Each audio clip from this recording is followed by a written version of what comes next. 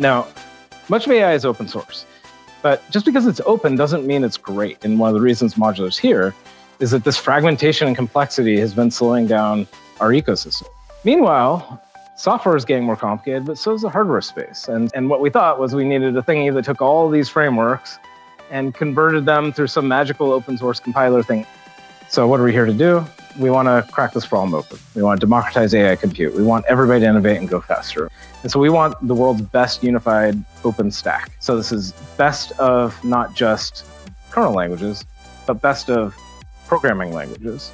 Yes, bring in the full power of MLIR, or yes, bring in fancy traits and metaprogramming and other capabilities and bring it in to build the world's best system that can scale, whether you're a Python programmer wanting some code to go fast on a CPU, or better yet, you're a Python programmer who wants something to go fast, and now because it's so easy, you put it on a GPU.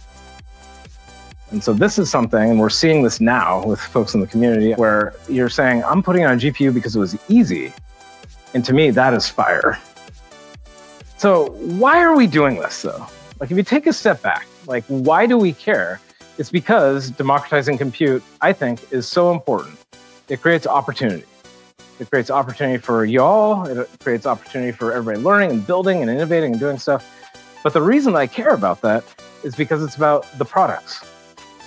It's about building cool experiences. It's not technology for technology's sake. It's because I am a fundamental believer that, like, with the power of all the amazing AI research and algorithms, we get them into products and we get them in people's hands, we can build amazing and transformative experiences. And so it's this combination of, yes, ner- very nerdy infrastructure like compilers, but also the research, also the CUDA kernels and the kernel programmers, also the people coming up with new differential equations, like, and just like all the people working together in this community is what's really powerful.